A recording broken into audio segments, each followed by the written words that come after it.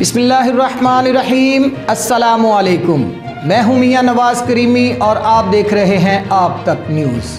نظر ڈالتے ہیں آج کی کچھ اہم خبروں پر۔ C I A city circle Kasur police کی بھرپور کارروائی ڈکیتی راہزنی کی متعدد وارداتوں میں ملوث آصف عرف آسو ڈکیت گینگ کے پانچ اراکین گرفتار۔ ملزمان کے قبضہ سے موٹر سائیکل، قیمتی موبائل فونز اور جدید ناجائز اسلحہ برآمد کر لیا گیا۔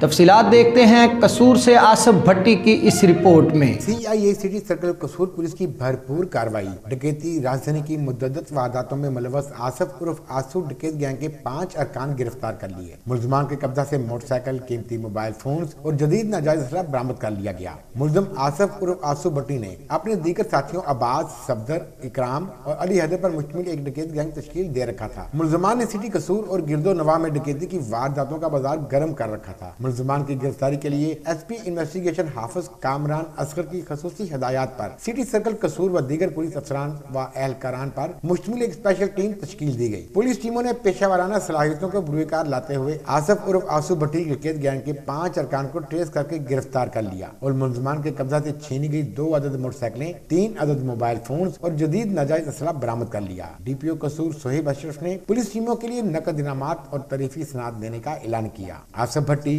آپ تک نیوز کسور